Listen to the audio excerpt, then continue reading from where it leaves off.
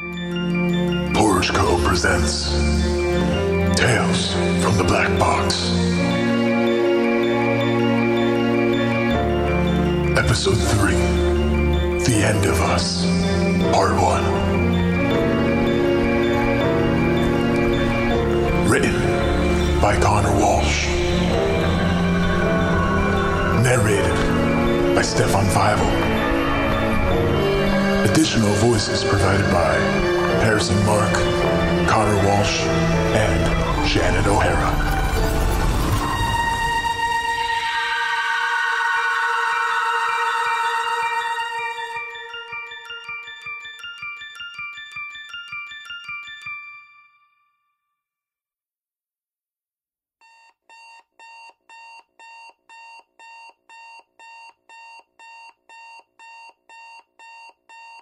For some people, waking up in the morning is one of the hardest things to do. Some people stay up way too late. Some people deal with anxiety in the morning. Some people don't look forward to the day ahead. And for Colin, it was all of the above. Each night, he struggled to go to sleep, finding little solace with each passing day. He felt like a hollow shell, blindly walking through empty days. It had been weeks since the last time he'd cleaned his room, let alone cleaned up anything. Most nights, he would come home and toss his clothes onto the floor. There are a few open areas, like little lily pads strewn about on a pond for a frog to hop across. In the bathroom, the mirror was blurry with dust, dried water droplets, and smudge marks. Colin didn't mind. He'd rather not look straight at himself anyway. In the cup on the faucet sat two toothbrushes, one of which had not been used in months. It lingered there, collecting dust and moisture. Small lines of mold had begun to grow in the little grooves on the handle. In the kitchen, mountains of dishes could be found in the sink and on top of the stove, each sporting layers of cooked on grease. Over on the counter laid empty pizza boxes, meatball subcontainers, McDonald's bags, and various other to go packages. On top of all the garbage were paper plates, bowls, and cups. Colin grabbed a bowl and opened the utensil drawer. He looked inside to see there were no utensils.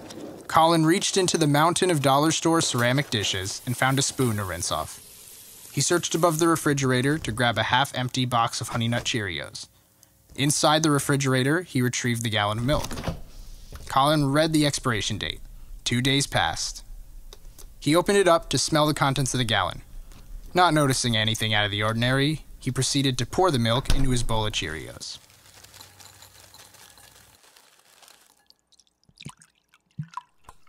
He trudged his way to his living room, placing the cereal on his coffee table and snatching the television remote. The news popped on. Colin reached for his phone in his pocket to aimlessly scroll Facebook and Instagram as he did every morning, but it was nowhere to be found. He looked around to find no phone in sight. He got up to go search for his phone. As he leaves, the program continues. We are coming to you live about the historical supervolcanic event which started several hours ago. What started out as unpredicted volcanic activity in the Phlegrean fields near Naples, Italy, has spread to other areas. The activity has already leveled towns and cities worldwide. Millions of people have been killed, with many more displaced. Scientists believe this phenomena is far from over, with predictions of more earthquakes, reaching magnitudes of 6.8 and greater.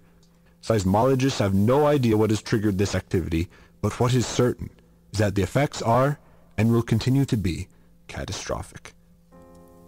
Many of us have asked ourselves if we knew the world was about to end, how would we spend our last day? Would you call your parents?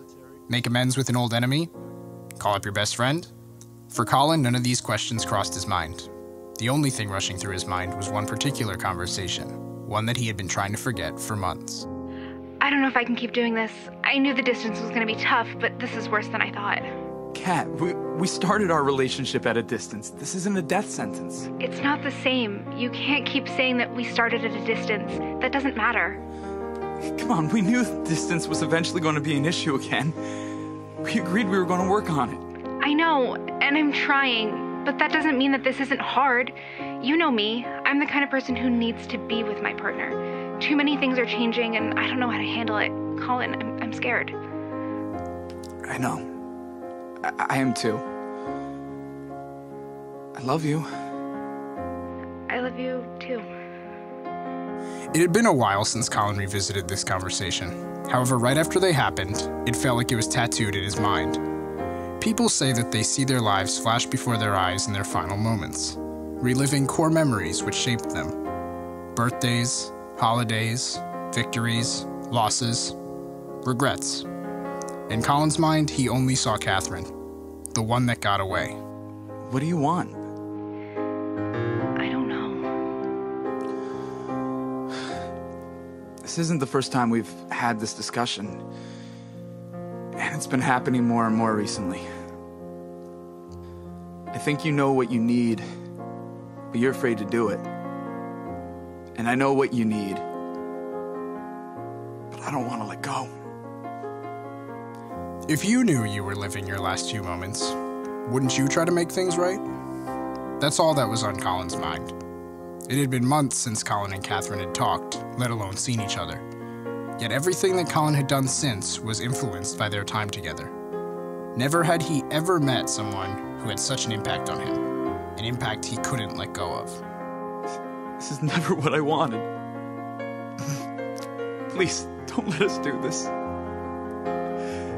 Can't we just keep loving each other? Is what Colin wished he had said. He wished he said something that would have made her stay. Instead, So, is this it?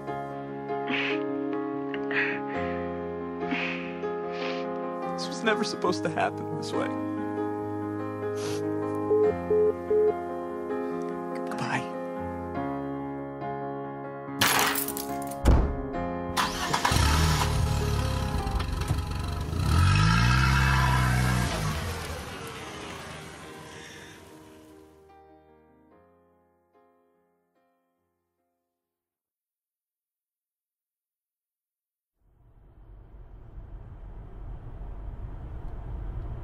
Colin was surprised how quiet the roads had been so far. Though he hadn't gotten too far away from his neighborhood yet, he figured that everyone would be freaking out. He would have thought that more families would be rushing into their cars, packing up the families, and trying to get somewhere safe. However, it looked as though everything remained untouched. He only witnessed a few of those, but he figured there would be more. Perhaps more people just stayed settled inside, surrounded by loved ones, making the most of the final moments. Maybe they were calling loved ones far away. Perhaps parents were trying not to worry their kids. Colin couldn't help but think of scenes from the movie Titanic. He remembered the scene where the mother tucked her kids in to sleep, trying to keep them calm while she knew there was little hope. He also thought of the scene with the elderly couple, refusing to leave each other's sides, neither wanting to live without the other. And that's what Colin wanted. He needed to see Catherine. Despite the time that had passed, his heart still drew him back to her. That was the only place he felt he belonged. There had been so many things he wished he could say to her again. He wished he could apologize for all that had happened. None of that mattered now. All he wanted was to see her one last time, and if he were lucky, hold her in his arms. Many nights, he wished he could let her go. He tried not to love her, but he couldn't. As Colin drove towards the outskirts of his neighborhood, he glanced over at the park.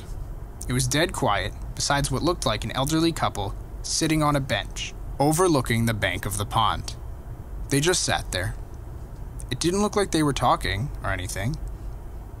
All Colin could see as he passed was the woman's white hair resting upon the overcoat of the gentleman. They had nowhere else to be but there with each other. Colin recalled times he would take Catherine to that park for walks, picnics, and late night talks. What'd I tell you? Great place, right? I'll admit, you do choose some nice spots. It's been a while since we've been able to have a weekend like this. I'm glad I could steal you away for a bit, you workaholic. I don't assign the work. I just get it done. And it's not like you've had all the free time in the world lately, not since you started working at the animal shelter. Hey, I started a few weeks ago. You've had this job for several months. Even still, I have more time than you. Touche. But how can I not take advantage of a day like this? The sun is shining, the birds are chirping. Oh, it feels like absolutely everything is right with the world. You're such a dork. Yeah, but you love that. I do. Hey, let's take a seat over here. I want to show you the spot. Okay. Ain't it gorgeous? I love coming here. It feels like time just stops whenever I visit.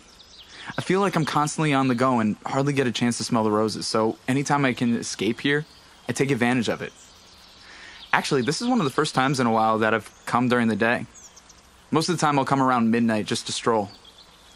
It's so still then. There's a purity to the night that's hard to explain.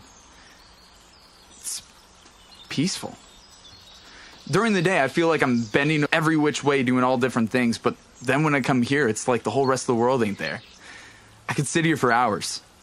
You know, when we started talking, I would sit on this park bench when we'd have those late night phone calls. Aw, that's so adorable. It's a gorgeous park. It reminds me of this one park that I had back home. We would all go down as a family and we would bring feed for the ducks. There was this one time when I was really little that this family of ducks took a liking to me. A couple of the little ducklings would follow me around, even when I walked away from the pond. They were just so cute. I wanted to take them home so bad. I could see your folks appreciating that. Oh, I begged my dad to let me take them home. I had it all planned out. I would use our little blow up pool and fill that with water, and I could build a little nest within an old cardboard box. And all of this would be in my room, so it was just me taking care of them. They were just so cute. You really thought that through. I was ready to be a proud mother duck. I would have treated them so well. I know you would have. But how do you think they would have fared with the dogs? And that's what Dad said. yeah, I don't think Ruby and Lady would have appreciated them at the time. They were still getting used to each other. Yeah, I bet. Well, that looks like a good one. What are you doing? I'm looking for rocks to skip. Back home, growing up by the river, I would go down and skip rocks for hours. Can you show me? You've never skipped rocks before? I've tried, but I could never figure it out. All right, let's do this. I got a couple of good rocks here for you. We'll start with these. All right, so a lot of people think it's more in the arm, but it's mostly in the wrist. Essentially, you give a good flick of the wrist when you stop your arm. Here, I'll show you. Impressive. Seven skips. All right, your turn. Oops. It's all good. Here, I'll guide you through the motions. Now, when you stop here, you'd flick your wrist. Is this your equivalent to that cliche mini golf move? Maybe. Is it working? All right, you got the motion. Try it again. Hey, three skips. That's awesome. Oh, wow. There's a deer over there. Oh my gosh, where? Right over there. Oh, it looks like a baby. I'm going to say hi. Wait, what? I know animals are your thing, but it's still a wild deer. It just doesn't seem right. Take it easy. We would get deer all the time in our garden back home. I would go out and feed the little fawns sometimes. A couple of them would even let me pet them. Okay, but this ain't one of those deer. I, I don't know. I wouldn't do it if I were you. Hey there, little guy. It's okay. You're a cutie, aren't you? You want some berries? I'll get you some berries. Oh, you're such a sweetheart, aren't you? There you go. It's okay. You can take them. it tickles. It's okay. You're good. Well, I'll be damned. I always knew you were a Disney princess, but this practically confirms it. Colin couldn't help but grin again as he remembered the goofy smile on his face watching her feed the deer. He always admired how pure Catherine's heart was. He knew that she hadn't always had it easy, and she had gone through enough in the past, yet she always remained on top. She always maintained this purity to her that couldn't be altered. It was too good to be true. Colin felt that often.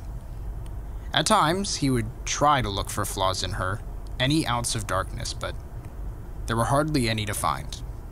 What he saw was what he got, and he felt that he took advantage of that. Looking back at the park, now getting smaller in his rearview mirror, he admits to himself that he had no idea how good he had it with her. She was more than he could ask for. Colin pulled up to a red light. He wondered if it's even worth following the rules of the road, considering the circumstances. Another car pulled up beside him on his right. The car looked like it could have been driven right off the lot. It was spotless and stuck out like a sore thumb in the suburban environment. He took a look to see the driver of the car furiously yelling into a cell phone. The man's hair was all messy, as if he'd been pulling at it. Colin could imagine that normally it was well slicked and parted on the side, but not that day. The driver kept tugging at the tie around his neck as if he were trying to loosen a noose. His buttoned up shirt was stained with armpit sweat, and what Colin would assume was a coffee stain in the center. Colin was entranced by the driver. What could he possibly be ranting about over the phone? Whatever business he had up to this point, it didn't matter now. The end of the world really equalizes everyone, Colin thought. The day prior, this man was probably very successful in his field. Given the beautiful car and nice clothes, Colin pictured this man as a lawyer, banker, or some other kind of high powered, white collar socialite. Today, Colin thought, none of that success mattered. Just like many of the cities that Colin had heard about on the news, everything this driver built had come crumbling down. Did he have a family? Was that who he was talking to on the phone? Or was he still discussing business? Could this man get over himself for a few moments to take in the gravity of the events surrounding him? Or was he still imprisoned by the little world he had created for himself? Colin searched his car to see if there were any stickers, decorations, toys, anything to show there was more to this man than just business. Nothing. The car looked pristine, as if the leathered seats had never been sat on by another soul. Colin proceeded to focus on the driver, his left hand gripping the steering wheel. He was not wearing a ring, or any jewelry for that matter. The driver looked over at Colin. His eyes widened even further in rage, and it looked like he began yelling at Colin for staring. The driver honked a couple times, flipped Colin off, and accelerated into the intersection.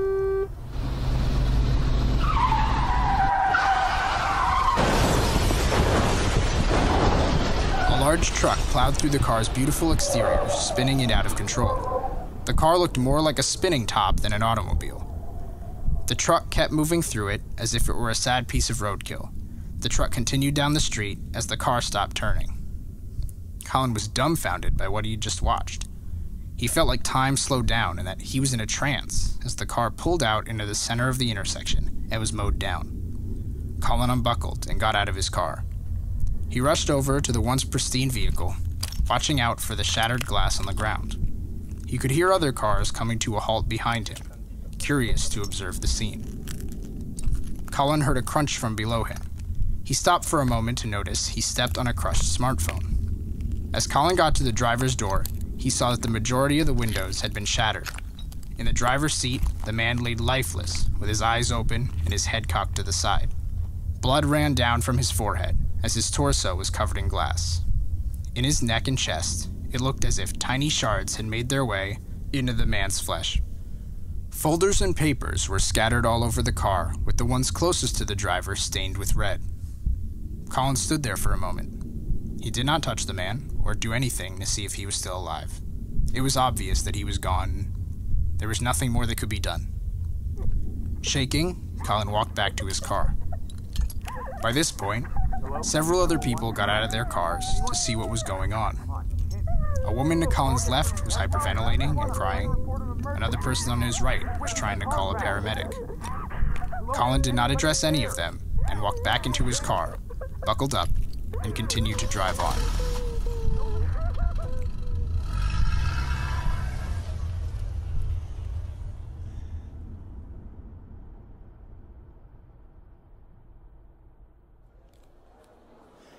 Yeah, thank you so much for your time. I greatly appreciate you taking the moment to answer my questions. Yeah, no, I totally get that. Nah, I've been there myself. Trust me. Just the other day, uh, Surprise. uh, yeah, uh, just the other day I was hit with two meetings out of the blue, so I totally get what you're saying. I'm, yes, thank you. You as well. Have a good day now. All right, bye bye. what are you doing here? I was able to get out a little early today. I even got you a peach iced tea.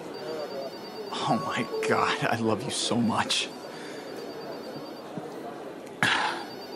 That's exactly what I needed. Thank you. You're welcome.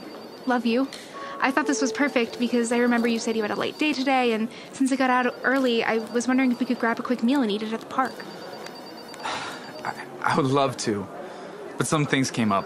Amanda had to reschedule her meeting from this morning to this afternoon, and then Penn asked me to help him get some stuff together for the event this Saturday. I'm sorry, this day just filled up. I don't think I can go. It's okay. I understand. How about we save that for dinner then? We could head over to the pizza place by the park. You can get your broccoli tomato slice, and I'll get my square. Yeah, uh, pizza sounds good, but I'm not sure if we can take it in the park. Because uh, of the meeting now, I won't have the time to finish up the report for tomorrow. So I'm going to have to take it home with me tonight. I'm not sure if I can break away to chill in the park tonight, but um, I most likely will have to work through dinner. But pizza still sounds good. Oh, okay. You'll need time to eat it, though. Can't you spare half an hour? I don't know. I just don't want to get sidetracked for too long and then spend more time there than we thought, and then it gets late all of a sudden, and then I'll be up all night putting the report together. I don't know, babe, not this time. Maybe this weekend. You said that last weekend. I. I know. Things have been more hectic than I was expecting. I thought this one deal was going to close much easier than it has been. But it turns out it's been a huge pain in my ass. I can't control all these meetings. Trust me, if it were up to me, I'd be walking out this door right now with you cuddling on a park bench. Unfortunately, time isn't a luxury I possess at the moment. That's fine. I get it. Um, here, I can order the pizza before you're home, so you don't have to worry about picking it up. You would do that? Oh, sweetheart, thank you. That would make things easier for me tonight. I appreciate it. And I'm telling you, this weekend, Sunday, Sunday, we'll spend an afternoon in the park or anywhere else you want to go. I'll make it up to you, I promise. Colin never did take her out that weekend, nor the weekend after. Something always kept creeping up that took his attention away. I'll make it up to you, I promise. He found himself saying that more and more as time went on. Luckily for Colin, Catherine was a patient and loving young woman. She understood that Colin had a lot on his plate. Though disappointed about plans not coming together, she believed in Colin. Colin, on the other hand, had guilt welling up inside of him. Though Catherine showed nothing but patience, Colin couldn't help but think of the grief he was putting her through. Colin would constantly beat himself up, telling himself that she deserves someone who could actually be there for her. As more and more time slipped away from them, he grew to believe that she deserved much better than him. His guilt consumed him. Even in the moments they could share together, he was plagued with a feeling of dread that she was harboring animosity against him. She never was, though. Yes, they had conversations about not getting to see each other, but it always came from a place of love. Anytime Catherine would bring it up, she would talk about how much she missed him. Colin would always come back and say that he was doing this all for the two of them. As he was driving down a more and more hectic street, Colin saw that the job and the money meant nothing to her. She loved him for who he was, not for any pay stub that came in. All she wanted was to spend some time. And that was the thought racing through Colin's head as he was racing down the street. As Colin drove further into town, the scene got progressively more chaotic. Several times, Colin had come close to being in a collision. People were walking and running into the street without a care. Cars were piling up all around him as people were showing signs of hysteria. As he drove through Main Street, storefronts had been smashed in. People were looting businesses. What was the point of that, Colin wondered. Where were they to go, and what were these looters to do with their stolen treasures? You can't run from the inevitable. The one thing that we all share as humans is that, eventually, we die. Yet, how each individual approaches it is different. Colin observed as numerous folks were reverting to their primal instincts as they tore through the town. At this point, the destruction was not caused by any tremors or any natural disaster, it was the effect of man. Colin always hated traffic, especially in areas he wasn't used to. Colin practically knew this street like the back of his hand. But that day, it felt like no place he had ever been. Bobbing and weaving through crowds of raving savages did not make driving this time any easier. Honking the horn, yelling at people, and swerving in every which way, Colin was getting more and more aggravated. Colin had always exhibited behaviors of road rage. Never up until now did he feel that he had anywhere more important to be. Babe. Babe, are you alright? Oh, yeah, I'm fine. You know how I feel about driving in areas I'm not used to. I know, but it's okay. We're about 45 minutes out from my parents' place. And besides, my mom will have everything set for dinner whenever we get there. Yeah, I know. It's it's fine. You know, I just get tense. It's okay, Colin. You're doing fine. Thanks, Kat. So what does your phone say? Uh, when do we have an exit coming up? Uh, actually, in less than two miles. Less than two miles? Are you kidding me? I wish I knew that sooner. I'm blocked in. I'm sorry. Damn it! Nobody's letting me merge into the right lane. Damn it. Come on. Oh, screw you too, buddy. Where the hell do you think you're going that's so important? It's okay, baby. Just calm down. Give me a second. God damn it, come on. Got my turn signal on. Can any of you. F- Are they giving licenses to the blind now? Baby. Come on, come on, come on. Let me in, let me in, let me in. Okay, you know what? Screw you two. Crap. I'm not gonna make it. It's okay, hun. Just merge. I'm trying, but everyone is speeding like maniacs. Damn it. Damn it. Damn. God damn it, we missed it. Colin, it's okay. There will be another exit. See? It's rerouting. Okay, so this adds another 20 minutes to the drive, but there's another exit we can take. Another 20 minutes? You gotta be kidding me. We've been driving enough as it is. Damn it. Where's this exit? Another eight miles. Okay. I feel like you're mad at me. Oh, babe. No, no, no, no. no. God. I'm sorry, Kat. You know how I get on the road. I, no, it's not my best side. I just want to get to your parents' house safely, but also timely, and. I'm sorry. I, don't like this side of you. There was this one time that my mom got really upset about something at work while driving my brothers and I. She wasn't paying attention and drove into the middle of the intersection. We were T boned by an incoming car. Thankfully, my brothers and I got out of it with minimal injuries, but my mom was in the hospital for a while and it was terrifying and. and seeing this from you worries me. You never told me that. I never knew how. I'm sorry. You know we're good. I'm not mad at you by any means. Driving in unfamiliar places just gets to me, and I'm only so concerned because I want to keep you safe. I've told you when I'm by myself, I tend to speed a bit more and be a little more assertive. I don't like hearing that either, exactly. Especially since you got two tickets in the past four months. I know. Which is why I've been trying to be better. You mean a lot to me, and I'm not going to let any idiot driver do anything to you. And I'm not going to be that idiot driver either. I swear, once we get to your parents' house, all this tension will release, and I'll be better. Are we okay? Yeah, we're okay. The exit is coming up real soon. Thank you, baby.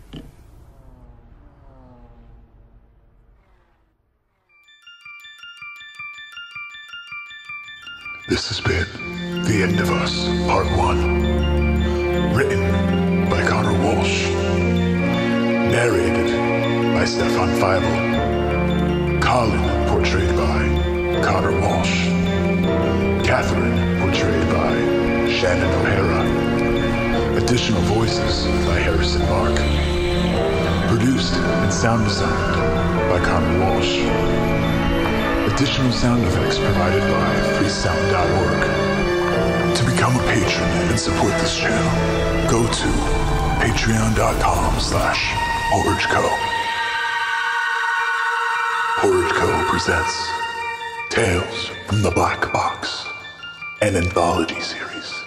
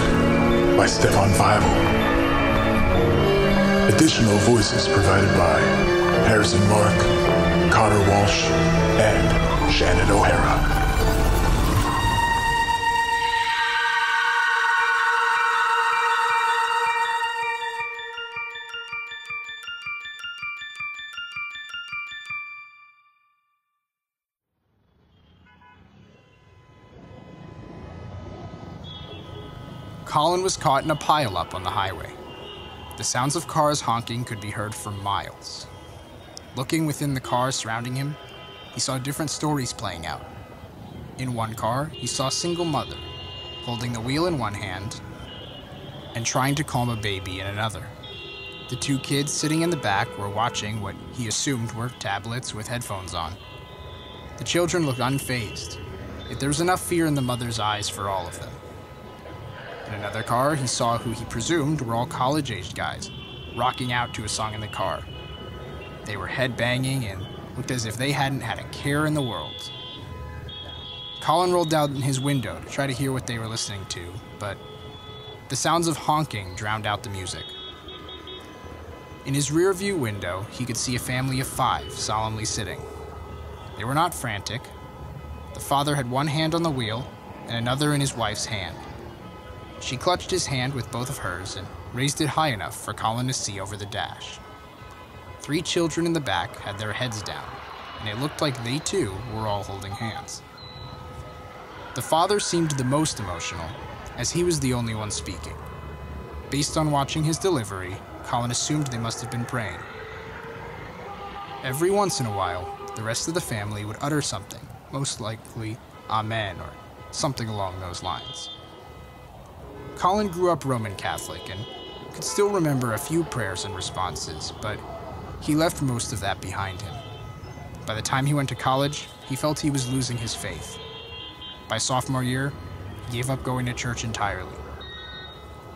It wasn't like anything in particular pushed him away, but that he got caught up with a new life he was carving for himself. It had been a while since Colin had even thought of God. Colin watched as the mother, who had been holding back tears, finally erupted. The children in the back broke from their stoic stances and opened their eyes. They shifted forward as much as possible as they tried to console their mother. The father turned towards her with loving eyes and said something that calmed her down rather quickly. With tears still in her eyes, she composed herself, and it looked like she encouraged her husband to continue with the prayer. To his far left, Colin noticed this one sign on a window of a restaurant. The sign read, Free Meals. You could see the people almost celebrating inside. There wasn't any sign of grief or dismay, just love and laughter. Waiters were hastily bringing out meals to the few tables of patrons. An older couple, presumably the owners, were going around table to table, checking in on everyone. Only smiles could be seen on their faces as they greeted each and every one of their guests. How could all these people act so joyfully, knowing that at any moment we could all be blown away? He thought. Maybe they had all found something that Colin had been searching for.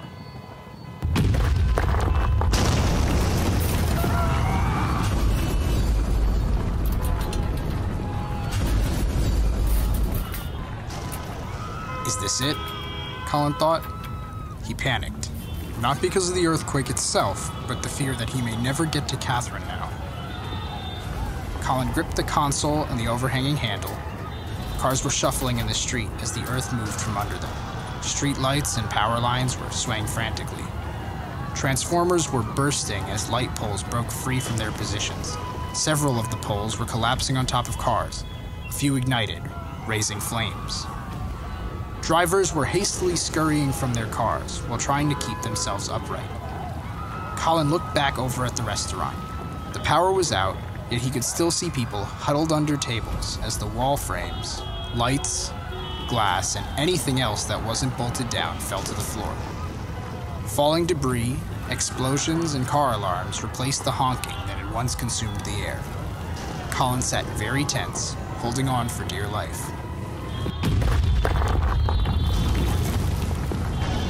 All of a sudden, a crack emerged from the middle of the street, a couple dozen yards from where Colin's car was.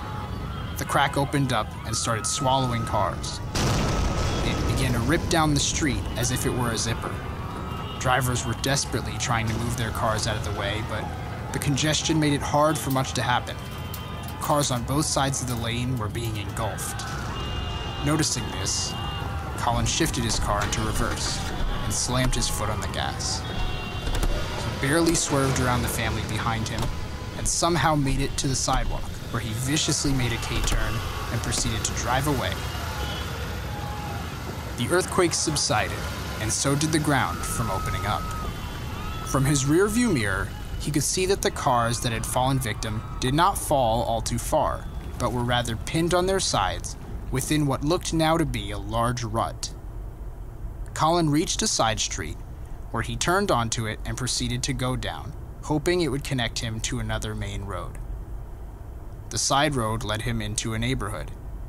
The road was clear, but street signs and lights were down, and trees had collapsed onto houses. A couple houses in particular looked like smoke was coming out from their windows, yet no one was running out. Based on the lack of cars he saw in driveways, Colin assumed most people from this neighborhood had evacuated. He meandered through the quiet neighborhood for a while until he found another main road. This was not as congested as the one he had been on prior, but was littered with fallen fast food restaurant signs, street lights, and a few trees. In the distance, he could see a bright blaze. It was a gas station. The entire station was up in flames. Even as he drove closer, it was hard to tell if any cars remained, for the roof above the filling stations had collapsed. The whole gas station was ablaze, but no sign of firefighters coming. The station would be left to burn out, possibly even spreading to nearby establishments. No one was coming to put out the fire. No one was coming to save the day. Colin's stomach sank as a feeling of loneliness and dread swept over him. Colin drove past the blaze. What else was there for him to do? Just like the driver, he left lying in his blood on the highway. What could really be done at this point? He thought. What could really be done? That thought branded itself in Colin's mind. Even if he did manage to meet up with Catherine, would she listen to anything he had to say? Would she even look at him? The more he drove, the more he felt like this was a bad idea. He wasn't always able to say the right thing back then. He wondered how he would do now.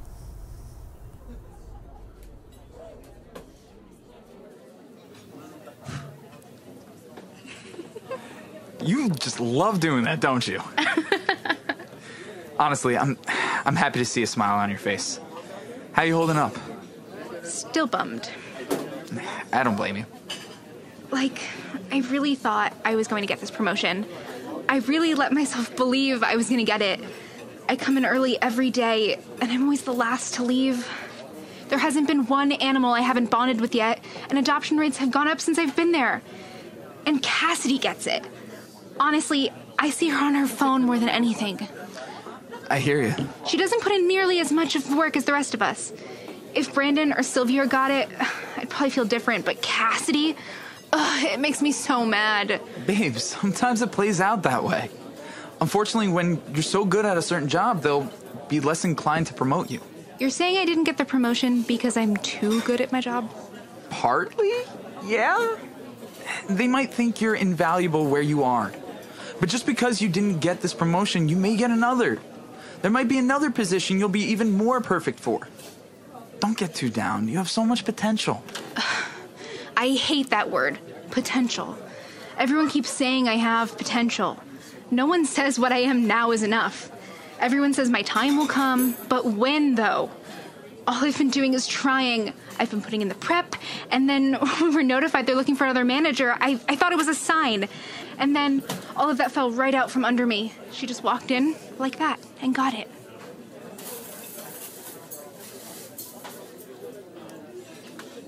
Are you mad at me?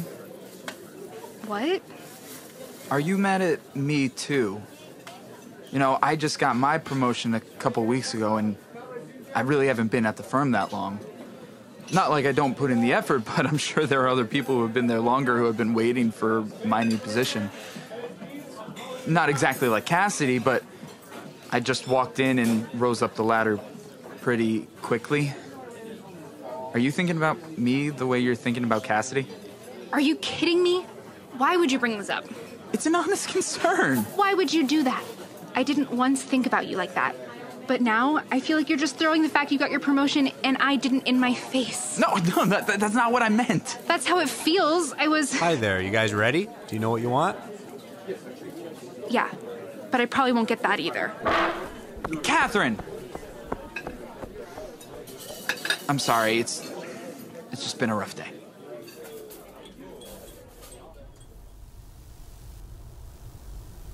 Finding a radio station that had any music on was next to impossible. He scrolled through the entire dial without a song to be found. What he wouldn't do to listen to anything to take him out of this moment. Music had always been a great escape. Not just for himself, but for Catherine too. He could still remember late night car rides, holding hands with each other. Colin would always let Catherine grab the aux cord. Though Colin may not have enjoyed every song that she played, he couldn't help but smile when he heard her sing along to every word. There was an air of freedom in those moments. Colin reached out to the passenger's seat to rest his hand on a lap that hadn't been there for months. He kept turning the dial, hoping to find something to ease his mind. All that there was was static on the FM line. There wasn't a station around that was broadcasting. How could he blame them? He thought about the news broadcaster that he was watching earlier, curious if they were still there or if they had evacuated. If they were to stay up until the very end, it would be like a captain going down with his ship, steadfast in their passion through the very end. To have that kind of responsibility to something was almost unfathomable to Colin. Almost. Listening to broadcasters continue to freak out about the disasters. All of them saying the same things. He kept turning until he heard the song. That song. It had to be that song playing.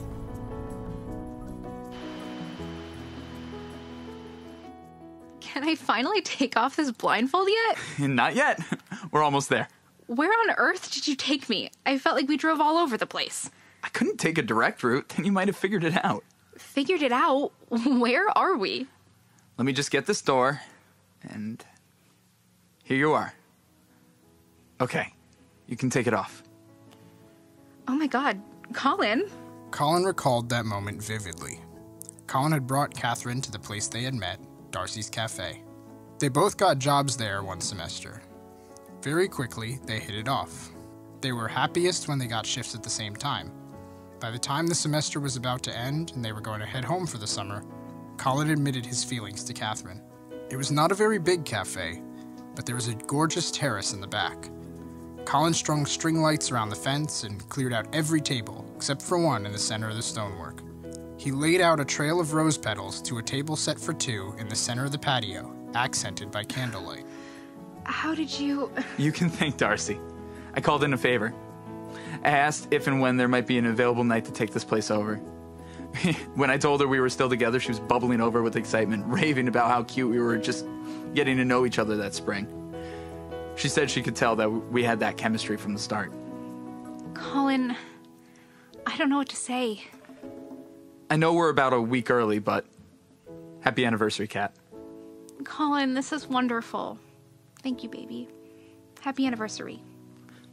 Before we sit down to a fine dinner, I have one more thing. May I have this dance?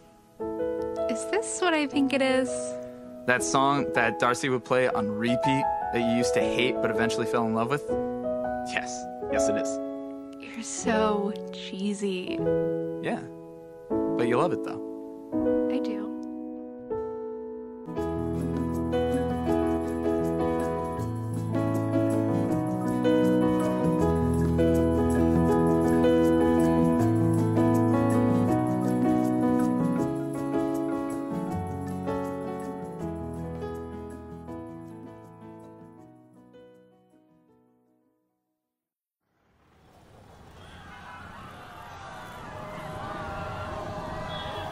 Colin resented the city life.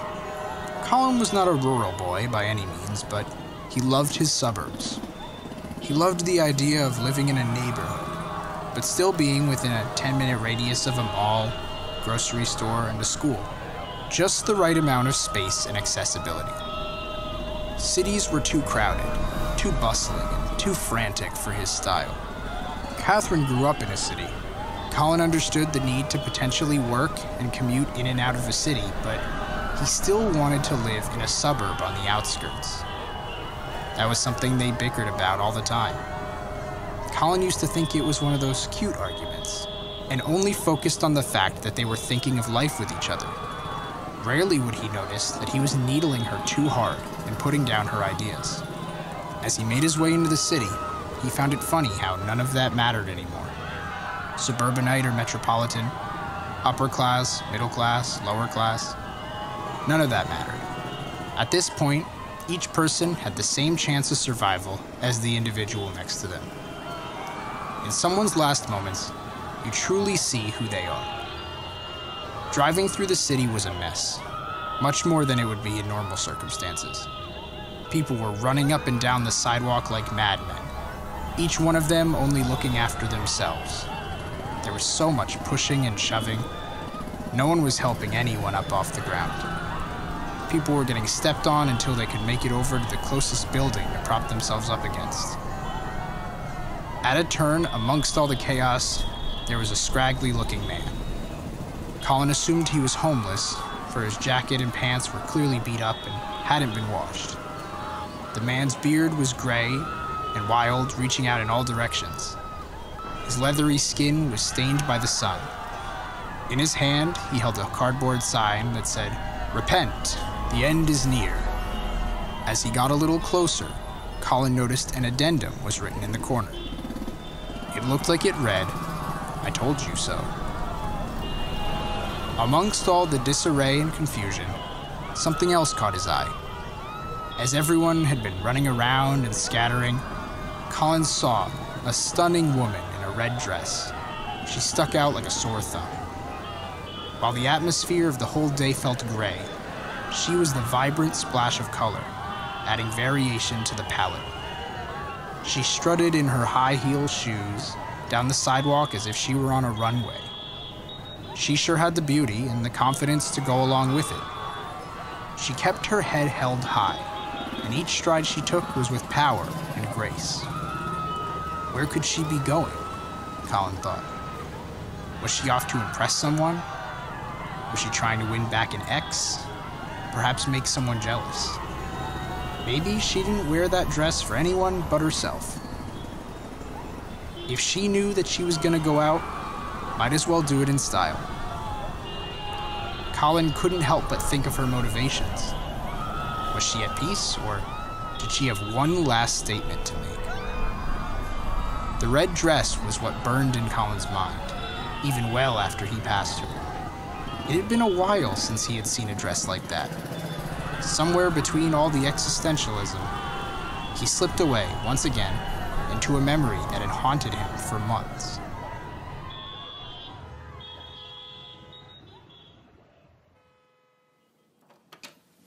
Colin, what are you doing here? Shouldn't you be at the gala? I was, but I couldn't stop thinking about you. Are you all right? You just left out of nowhere. I told you you didn't have to leave. I know, but eh, something felt off. Did I say something? D- did I do something? Are, are we all right? No, it was nothing you did. You know how I get with crowds. It was just more than I could handle tonight. Besides, those are all your people, not mine. I didn't want you to leave, though. I just needed a moment to catch my breath and have some space for a moment. I told you that. Yeah, I know, but this was supposed to be our night. You know, we've been talking about this for weeks. You bought that new dress. It was going to be our first time out in a while. We were going to dance and have a good time. And that's why I came. It's still our night. You keep saying that, but this was your event. Your night, not mine. I wanted you to have a good time still. How can I have a good time without my best girl by my side? Oh, this again. What again? You don't need me to have a good time. We were fine. As I said, it was overwhelming and I just needed to get out. And now you're making me feel bad for ruining your vision of a perfect night. That's not what I'm trying to do. But that's how you're making me feel. I wish you could just trust me when I say that we were all right and respect that I needed a moment to myself. I'm only trying to make sure we're all right. I'm here to help. No, you're trying to make sure that you are all right. You have to make sure that everyone likes you. You have to make sure your image is intact. And me deciding I want to go home and let you stay there to have a good time means to you that there is an issue. Your perfect dream night is ruined because you don't have a girl on your arm to show off. You always find a way to make things back to you. Where is this coming from? It's been building, Colin, for a while now, and I haven't said anything because I didn't want to hurt you. I know that you've been going through a lot with work, with all the events, with the loans, but you just dump it all on me, hardly giving me a chance to breathe. And whenever I try to bring up something that has been bothering me, you find a way to turn the conversation back to you. Kat, that's not what I'm trying to do. We said from the beginning of this relationship that we are both going to be open and honest with each other, which I've been trying to do.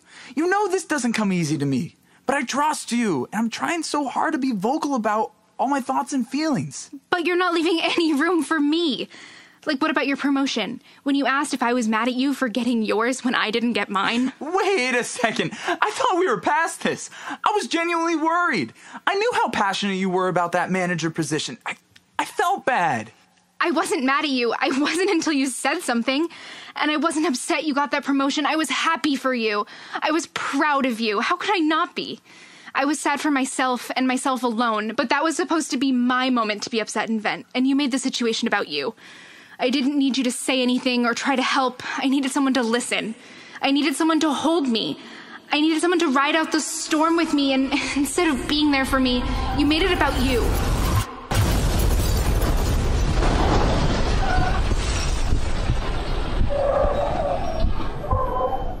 Colin snapped back to reality. Glass from the windshield scattered in front of him. He could feel a line of blood running down his forehead. The airbag sucker punched him like a schoolyard bully. From over the airbag, peering through the shattered windshield, he saw another car rammed into the front of his car. Dazed, Colin tried to get himself together. He stumbled out of the car and observed the mess. His ears were ringing, yet he could still faintly hear the man from the other car yelling at him from his driver's seat. Colin looked at the man blankly as he continued to yell at him. All of a sudden, Colin broke into a full sprint down the road. Slowly regaining his hearing, he could hear more of the man yelling as he created more distance. No car crash was going to stand in his way from seeing Catherine one last time. It didn't matter how much his head was throbbing or how out of breath he was getting, he just ran down the street. Cars swerving all around him, people yelling at each other from buildings and sidewalks. Yet Colin kept running straight as he slipped back into another memory. If everyone could find their seats, the award ceremony will start in about 10 minutes. How are you feeling? I'm okay. I'm okay. Okay, I am pretty nervous. You're gonna be alright. You're being awarded the Exceptional Service Award. And it's even more impressive since you've only been here for seven months. Nobody has ever been awarded it that soon. Thanks. I appreciate it. What's wrong? None of my family are able to come to this, and Colin was originally supposed to come, but instead he's at traffic court several towns over fighting a speeding ticket. It was hard enough not having my family here, but it would have meant a lot having him here. You may want to turn around. Where's Catherine? Have you seen her? Uh, excuse me. Uh, where can I find Catherine? Colin? Colin! Cat! What are you doing here? I, I thought you had traffic court. I did.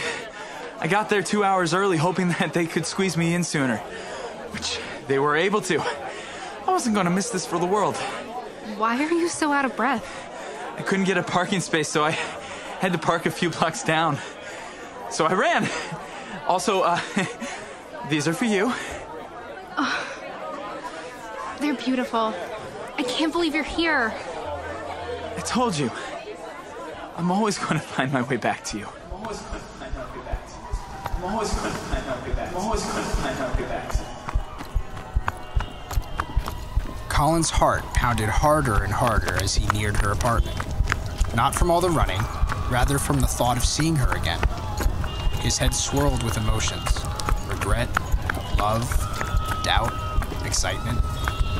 Just because he made it all this way didn't mean he would be welcomed back. He made it all this way.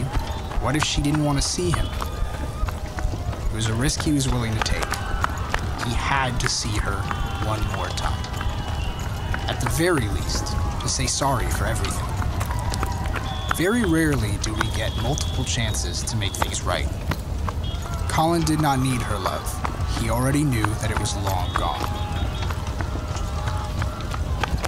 Colin approached the apartment building. He recalled how he helped her move into this building. It was more upscale than the dorm she was in for the majority of their relationship. Though Colin may have only been to this building a handful of times, he could never forget a route that would bring him back to Catherine. Broken glass was scattered across the parking lot and sidewalk. Multiple windows were shattered as he inspected the building, including the glass doors. Carefully, he made his way through where the pane once was and cautiously inspected the lobby. The only light came from the light outside. He went over to the elevator and pushed the button. No response. Impatiently looking around, Collins searched for the stairs. He spotted the door and started running again. His legs and lungs were burning intensely, but he kept striding up the staircase. Already, he felt he had wasted so many moments, but he was determined not to this time.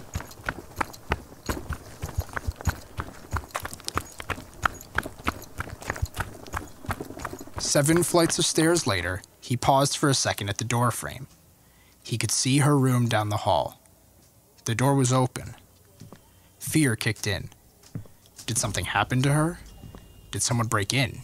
Did she leave? Was all this for nothing? Slowly, he walked over to her door. Everything was still. He couldn't even hear the commotion from the street. The only thing he could hear was his heart beating in his throat. Colin walked through the open door. He looked around to see if anything was different broken, damaged, stolen. The windows seemed intact. The furniture looked relatively untouched. Her TV still stood on the stand in the living room. Everything was turned off. Even the digital clock was blank. He made his way to the kitchen. There, he found a shattered glass upon the floor. Cat? He sheepishly made his way to her bedroom. The door was open just a crack. Cat? He pushed the door open. She was nowhere to be found. Colin ran his hand through his hair in frustration and slammed the wall. He missed her. She could be anywhere in the world at this point. Stupid, stupid, stupid. Ah! He felt broken, lost. Now, in what could be his final moments, he stood in her room all alone. He took a look around. In so many ways, it reminded him of her old college dorm. Her rose bulb string lights hung right below the ceiling. By the window was a small potted plant. She used to love having flowers to care for. On special occasions, instead of getting a bouquet, Colin would get her another plant. He wanted to give her something that would last longer, and hopefully not fade away. The room was slightly more messy than he remembered her keeping it, but considering the circumstances, it looked pretty good. On her desk sat unlit, half melted candles. Colin picked one up as he remembered all the times he went into the candle shop with Kat at the mall. Also on the desk, he spotted the little jewelry box she got for Christmas one year from her mom. He remembered how she loved that box. He also remembered she used to keep the crescent moon earrings he got for her in there. She was obsessed with the sun, the stars, and the moon. Many of their first nights speaking were under the moon. He would be getting out of a shift at the restaurant around midnight, and she would still be up to text him to see how his shift went. Shouldn't you be asleep? Not without saying goodnight. She would usually respond. Colin took a look inside the jewelry box. couple necklaces, a couple rings, but no sign of the earrings. She probably got rid of him, he thought. He put the box down on the desk and looked up to see a framed picture and quote of Audrey Hepburn. It read, For beautiful eyes, look for the good in others. For beautiful lips, speak only words of kindness. And for poise, walk with the knowledge that you are never alone. Catherine truly embodied this. She tried to live by it every day, and it always amazed Colin. Regardless of the situation, she always had love in her heart. He could never understand how she remained so pure. Perhaps it was his own jaded spirit that disabled him to comprehend the beauty. A few feet over to the right was her collage of family photos. Colin remembered in her old dorm room staring at these pictures, trying to memorize faces and trying to put names to them. All these people meant a lot to Catherine, so he wanted to make sure he could know as much about them even before meeting them. Between the collage and the Audrey Hepburn photo, there's an open spot with a nail. Something once rested in this spot. Colin looked down to see if it dropped. Nothing was on the floor. He looked around the room to see if a frame was placed somewhere. On her bed, he spotted one frame lying face down. He walked over to the bed and picked it up. He turned it over, and he couldn't believe his eyes. Tears again started to well up. It was the painting of the doe that he had bought her on their first date. He took Catherine to a local church carnival. It was a gorgeous, sun filled summer day her yellow dress competing with the sun for who could be brighter that day. Amongst all the vendors they visited, they came across a tent of a local artist. She painted and drew the most beautiful of landscapes. This one painting of these lush woods with a majestic doe standing in the clearing, showered by sunlight, caught Catherine's eyes. Colin insisted he buy it for her. He could still picture her big green eyes admirably looking at him, so sweet and so thankful. He couldn't believe that she kept this. Colin's mind wandered to other moments at the fair. There was a petting zoo where people could feed the animals. Colin was terrified, but Catherine dragged him in. Colin could never forget their trip on the Ferris wheel. Catherine's favorite ride growing up was the Ferris wheel, so she insisted they go on it. She didn't have to twist Colin's arm. She was so excited, and she cuddled up very close to him. And by pure magic, the Ferris wheel stopped while they were at the very top. They could see out for miles, and by that time, the sun was setting behind the mountains in the distance. Colin took one look at her, snuggled up against him. They stared into each other's eyes for a moment, and they both softly went in for their first kiss. They always say that you should feel sparks on a first kiss. That's not exactly what Colin felt. He felt as if he'd kissed those lips all of his life. He felt that they were so familiar, so comforting, so sweet and so soft, and in that moment, he was convinced that he would be kissing them for the rest of his life. Colin continued staring at this painting in his hands, awestruck that she never got rid of it. Colin? Startled, Colin jumped and turned to the door. It was Catherine. Her eyes looked red and puffy, as if she'd been crying as well. She was wearing her yellow dress, her hair was down, but on the left side, her hair was tucked behind her ear. On her ear dangled one of the crescent moon earrings. She was shaking, visibly unnerved. I, I was in the car when I saw you run like an idiot down the street. The best that Colin could do was stare. He was frozen in place. He tried to recall the speech that he'd been practicing in his head. He opened his mouth, but nothing would come out. Shaking, he placed the painting on the bed. They stood six feet apart from each other. For months, Colin had only dreamed of seeing her again, envisioning all the things he would say and do. And at that moment, he couldn't do a thing. Cat. I. Um. Catherine broke from the doorway and rushed right into his arms. She grabbed him tight, with tears streaming down her face. Colin, again startled, stood there for a second until he realized what was happening. He wrapped his arms around firmly, and buried himself into her hair. He too started to sob. They both stood in her bedroom, unable to compose themselves and unwilling to let go of each other. Colin could feel her head pressed up against his chest. The earth began to shake, yet they remained perfectly still. The sounds from the streets erupted once more, yet they remained perfectly quiet. All they could do was hold each other, and unlike any time before, they refused to let go.